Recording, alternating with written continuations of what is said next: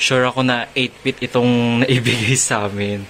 Kaloka, ano ba yan? Ayan, good luck sa akin mamaya pag winalis ko yan. Grabe, yung, yung buong side namin puro ganyan, no. Mga uh, part lang talaga na hindi ganun ka-stable, kagaya nung sa mismong branch, medyo nag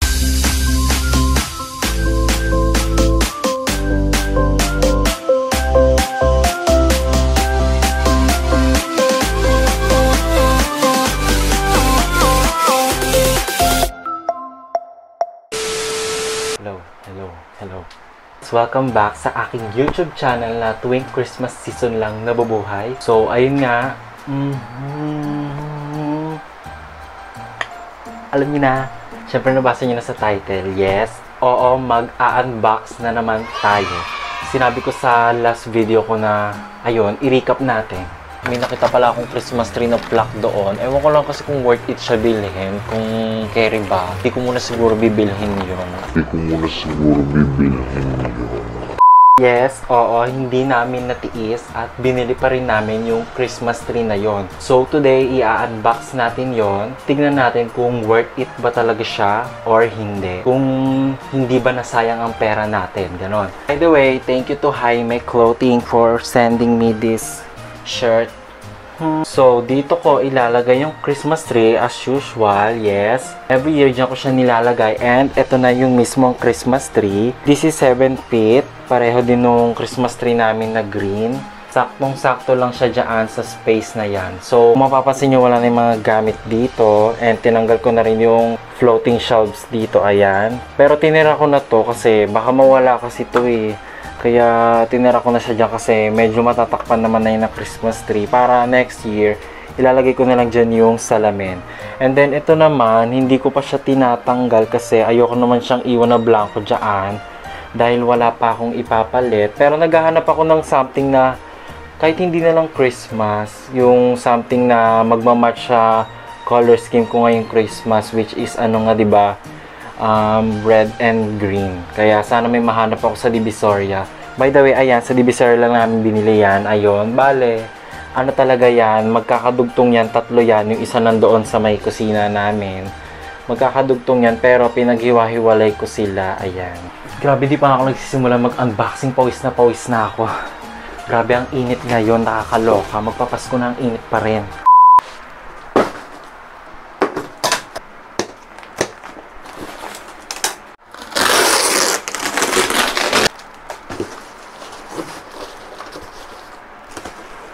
So, ito na yung Christmas tree. Yes, flock yung binili ko. Hindi color white. Color green siya na may snow.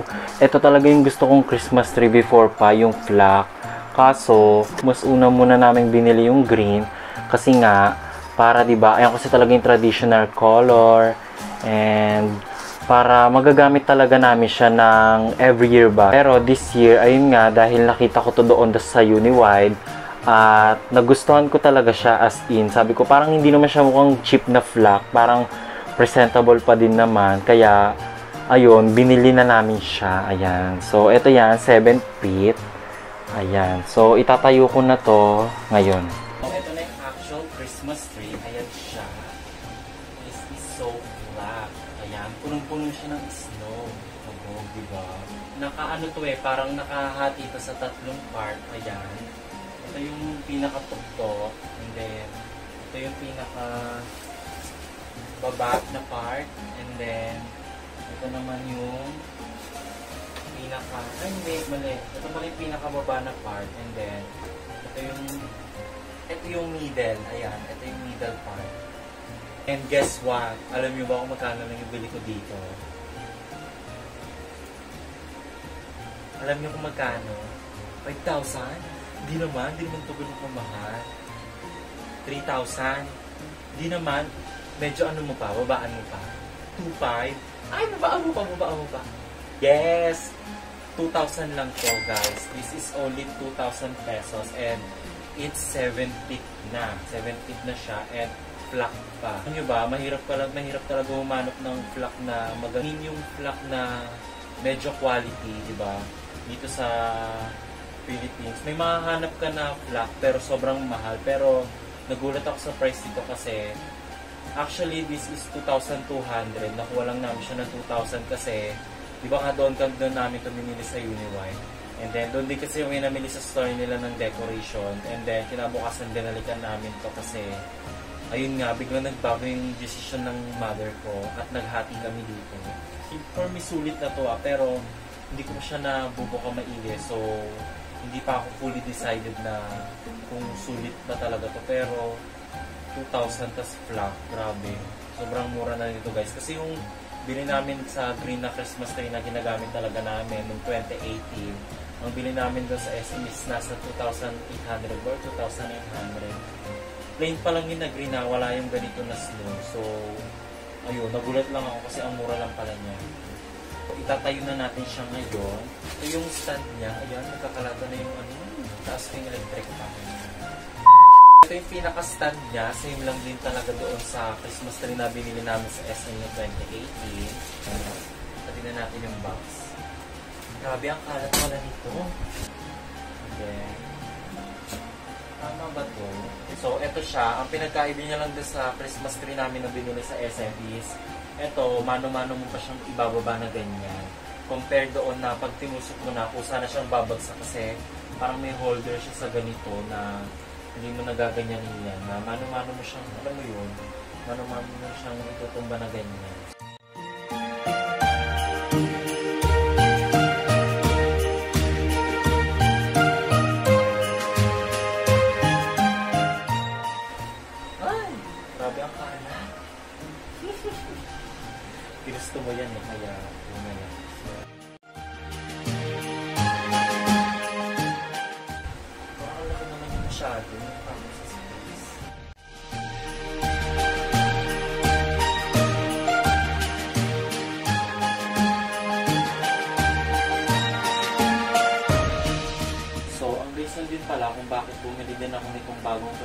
Tree kasi di ba nga ang color scheme ko kasi is red, green, silver, and gold. Gagamitin ko rin yung Christmas tree namin na green lang is parang inulit ko lang yung ginawa ko from 2018 kung natatandaan nyo ay yung first year na nag-video ako for Christmas dito sa YouTube. Natatandaan nyo di ba color scheme ko that type is red, gold, and silver. Tama, red, gold, and silver. So, kung gagamitin ko ulit yun, parang walang nangyari kasi nagdagdag lang ako ng green. So, so nag-decide ako na bumili na lang ng flat na Christmas tree at ng mga more on green na Christmas decors kasi marami na marami na akong red doon eh. So, green na lang talaga yung kulay.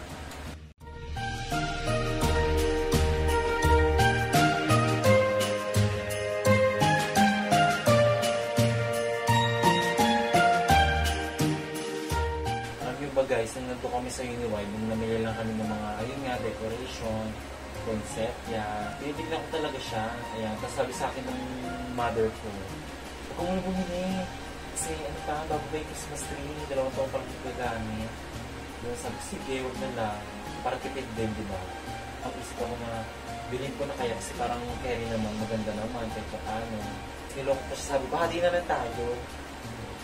Wala siya na i-bear. Nung nung bumili sa New Christmas, sige, itakon mo kami naman ba? Nung kinabukasan, umaga, ayan, bigla siya nagsabi, ano, bilhin na natin. Bilhin natin, hanggat ano, doon pa, baka mawala pa doon. Kasi no, binili na namin siya kinabukasan. Ito yung mga nanay mo.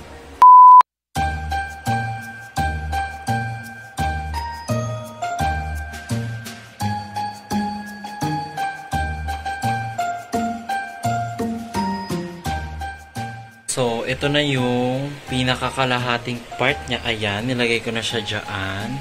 And grabe yung kalat, tignan nyo. so, ayan, good luck sa akin mamaya pag winalis ko yan. Grabe, yung, yung buong side namin puro ganyan, no.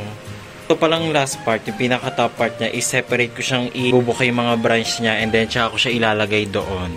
Kasi pag binuka ka kaagad, mahirapan ako iusog siya doon eh. So, ayun, separate ko siyang ibubuka ngayon.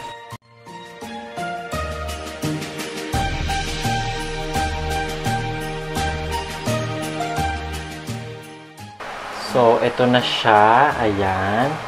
Grabe, sagad na sagad siya dun sa kisame. so, inipit ko na na sa likod yung pinaka sa pang last na branch doon. Inipit ko na na siya sa likod dahil grabe, ayan o, sagad na sagad siya sa kisame. ito na siya na open ko na lahat, nabuka ko na lahat ng Christmas tree branches. Ayan siya. At ito ang aking napakabait na pusa na si Egoy. So, ito na nga. So, ayun, ito na yung final review ko. Worth it nga ba siya bilhin or hindi? So, meron siyang, alam niyo yun, mga flaws. Wow, flaws. Ayun, meron siyang, alam niyo yun, parang part na okay naman to, okay naman worth it naman yung price niya, pero part lang talaga na hindi ganun ka-stable, kagaya nung sa mismong branch, medyo nag-uusugan siya. Yung kumbaga is nag-uumpugan. Ayan, papakita ko sa inyo, wait lang. Pinaka-branch niya, ayan, medyo umuusog ito. Ayan, may, kaya minsan nagdidikit yung dalawang branch and kailangan ko pa siyang ikapit dito sabay pinakapit ko. Ayan, example ito. Kailangan pagkakapitin ko siyang ganyan para hindi mag para stay lang siya diyan back para hindi na siya uusog and yung itong mismong mga artificial snow parang sobrang bilis niyang bumagsak kaya sobrang bilis niya lang matanggal once na alug-alugin mo siya magtatanggalan talaga siya pero may mga part naman na maano talaga madikit nakadikit siya maigi kagaya nito ayan na nakadikit siya maigi pero may mga part mas marami talaga yung part na medyo ayun nga nalalaglag yung artificial snow ay, init. For me, okay naman. Parang pwede na, pwede na siya talaga. Kasi di ba 2,000 pesos lang naman siya and then flock na. Sa totoo lang, mahal talaga yung mga flock na Christmas tree. Kung titingin kayo sa SM, yung sa mga malls talaga, sobrang mamahal. Parang yung 6 feet yata, nasa ano na, 5,000 to 6,000 na yung price niya nung tumingin kami last year. So, for me, okay na rin naman ito for the price, 2,000 pesos okay naman na siya kaya ayun ito na rin din yung gagamitin ko syempre nalagay ko na siya dyan eh so ayun lang yung review ko. Okay naman siya. Pero ko siya sabing worth it sa price. Ayun worth it yung ano niya price niya na 2,000 ayun na yung unboxing video ko. Very very quick lang. Hindi ko pa siya dine-decorate ha kasi nag-unboxing nga lang ako para i-review ko itong Christmas tree na ito. Yun, sa next video ko is i-decorate ko na itong Christmas tree na to lalagyan ko na siya ng lights at mga Christmas decoration. Papagandahin pa natin siya. Sana abangan niyo yung next vlog ko dahil ayun na nga, i-decorate ko na ito. So, that's it for today. Sana nagustuhan niyo yung video na to.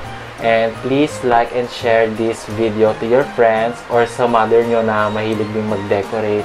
And don't forget to subscribe to my YouTube channel. Ayan, mag-subscribe na kayo. And huwag nyo rin kalimutang mag-comment guys kasi pag nagko-comment kayo, grabe, natutuwa talaga ako pag nagko-comment kayo kahit sobrang easy lang. Thank you for watching. See you sa aking next vlog. And bye-bye! Natutulog na ako dahil it's already 2.33 na. So, yeah, magwawalis pa ako. Bye!